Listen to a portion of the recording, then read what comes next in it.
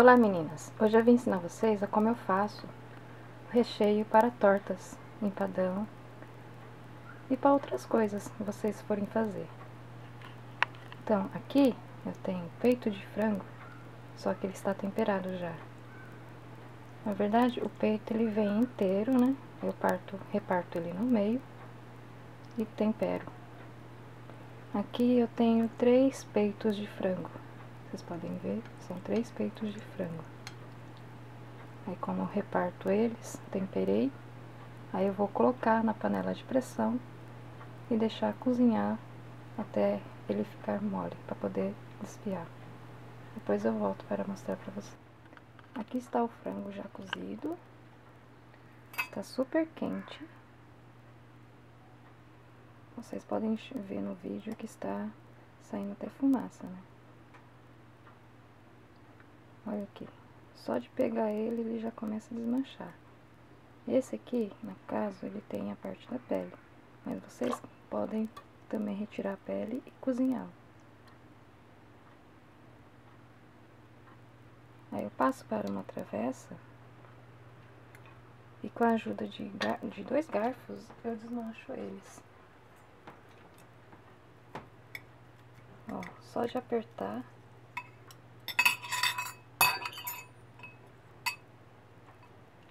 ele já vai se desmanchando, né?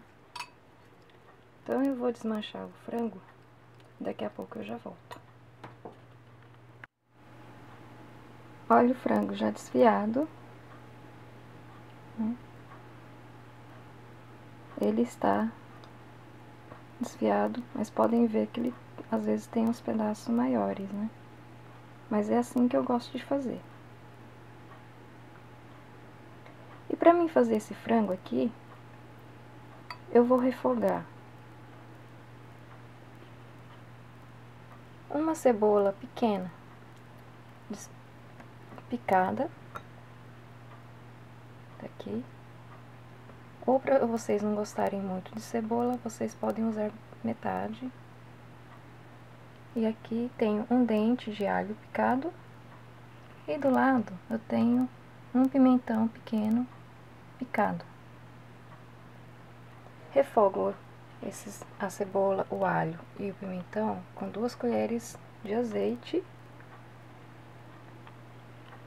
Quando tiver refogado, não queimado, eu acrescento uma colherzinha de chá de orégano, mexo um pouquinho, acrescento uma colherzinha e meia de cloral, que é para dar cor no frango, para não ficar muito pálido. Após isso, eu coloco o frango desfiado.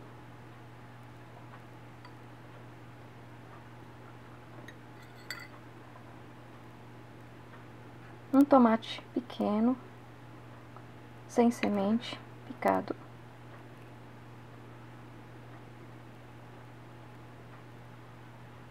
130 gramas, 140 gramas de seleta. No caso, eu uso a seleta congelada. Vocês podem usar aquelas de latinha. Né? Não precisa usar essa quantidade. Vocês podem usar um pouco mais, menos. Isso depende do gosto de cada um. E reservei a água que eu cozinhei o frango. Aqui tem mais ou menos 400 ml da água do frango cozido. Que eu vou acrescentar, vou mexer todos os ingredientes. Aí, quando ele tiver precisando de água, eu coloco uma quantidade de água suficiente para ele deixar molhado o frango. E logo em seguida eu coloco um tablete de caldo de galinha, tá? Esse, esse caldo aqui, ele é de galinha caipira.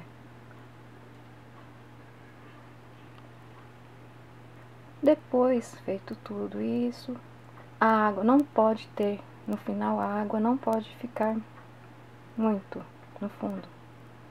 Porque senão ele vai ficar vai, você vai precisar de secar mais a água, deixar só um, um pouquinho, o suficiente para o frango ficar molhado. Aí eu misturo 180 gramas de cheese. Isso é opcional, né? Tem gente que não tem, mas fica mais cremoso, ele dá um gosto mais é, diferente. Eu gosto. Aqui eu tenho acho que umas 16 azeitonas. Eu cortei elas, né? Em rodelinhas. Aí vocês vão experimentar o frango, se ele tá bom de sal ou não. Se vocês acharem que tiver faltando sal, vocês acrescentam um pouco de sal. O sal, né, é a gosto. E no final, depois o sal estiver no ponto, eu coloco coentro picado. Aqui tem três galinhos de coentro picado.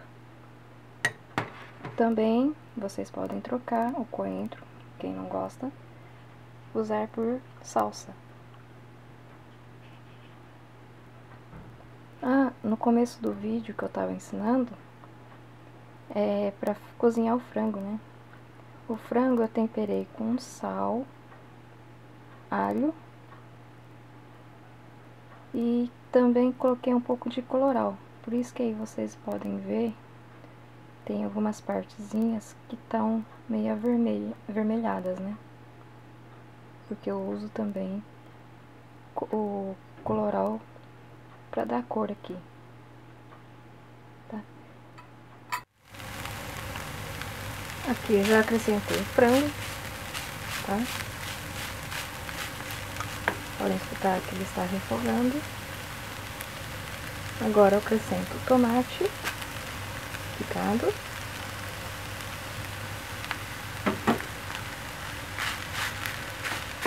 E mexe.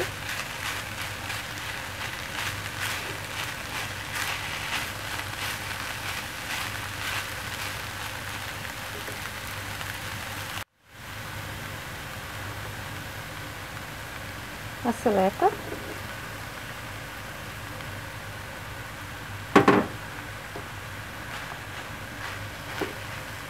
E mexo novamente.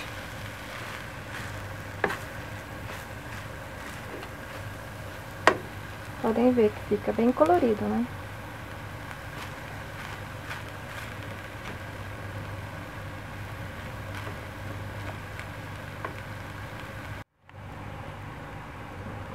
Agora eu acrescento um pouco da água.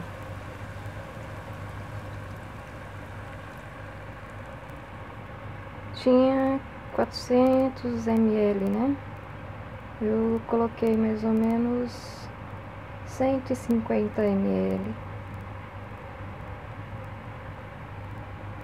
de água.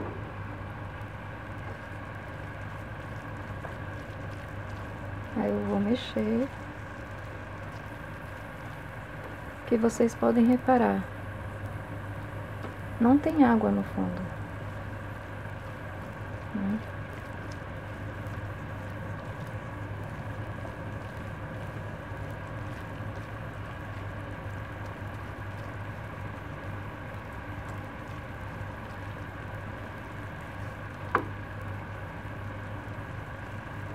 Mas eu vou acrescentar mais um pouco da água.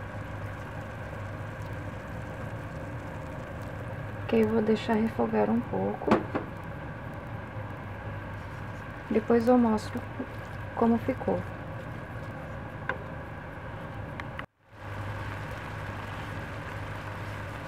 Olha como está.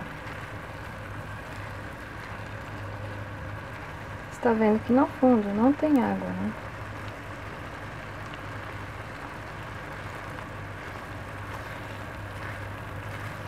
Mas o frango ele está totalmente úmido. Aí nesse momento eu coloco as azeitonas picadas.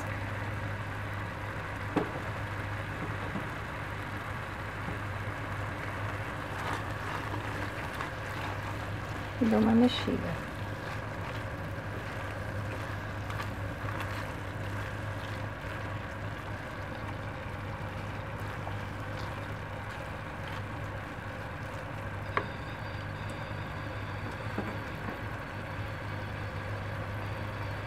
E acrescento o cream cheese, 180 gramas.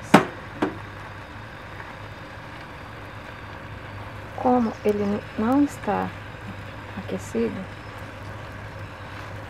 aí você vem com a colher de pau, cortando ele até ele se desmanchar.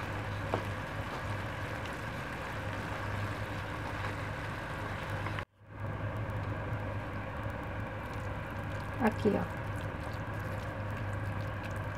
O cream cheese já se misturou com o frango. Ele deixa bem cremoso. Esse recheio vocês podem usar para fazer torta. No outro vídeo eu venho ensinar vocês a fazer uma torta de espinafre. Também eu uso esse recheio para fazer empadão.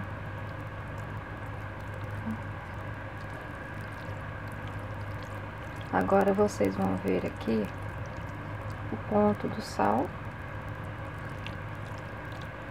Se vocês acharem que está bom, não precisa acrescentar sal, tá? Aí eu, já nesse ponto aí depois eu coloco o coentro e dou uma misturada bem.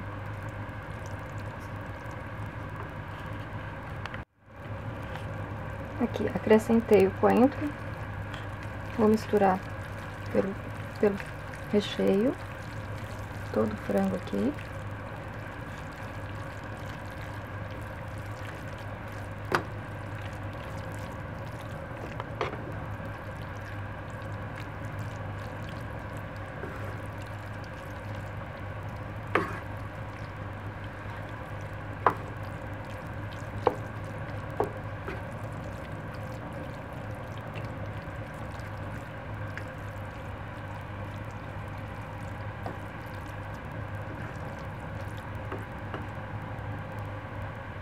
E já apago o fogo.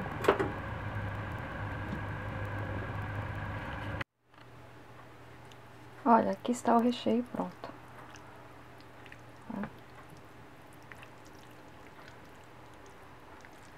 Não tem água. É a cremosidade também do cream cheese. Olha.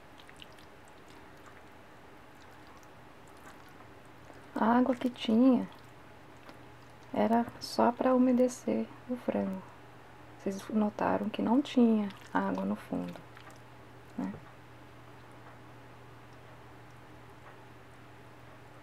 Olha, saindo fumaça.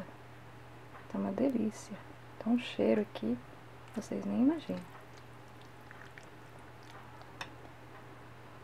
Vou aproveitar o momento e vou mostrar a quantidade de água que eu não usei. Eu tinha no começo do vídeo colocado 400 ml de água. E aqui sobrou 200 ml. Essa água eu não usei, então... E aqui está, ó, o frango. Espero que vocês tenham gostado.